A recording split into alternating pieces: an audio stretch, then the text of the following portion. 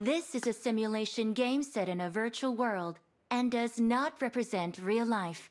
Please play in moderation, take frequent breaks, and play responsibly.